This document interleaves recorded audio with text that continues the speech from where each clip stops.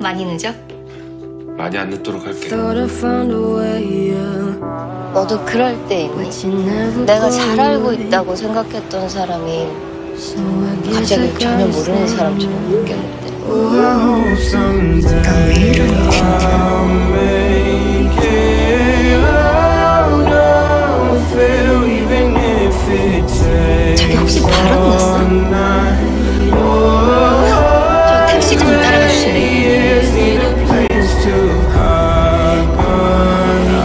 사람이야?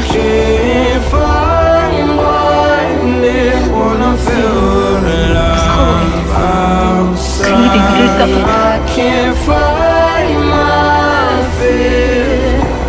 자기 어디야? 부사장님이 술을 많이 드셔서. 그럼 부사장님이랑 아직까지 같이 있는 거야? 어. 피곤할 텐데 뭐 먼저 자. Welcome home.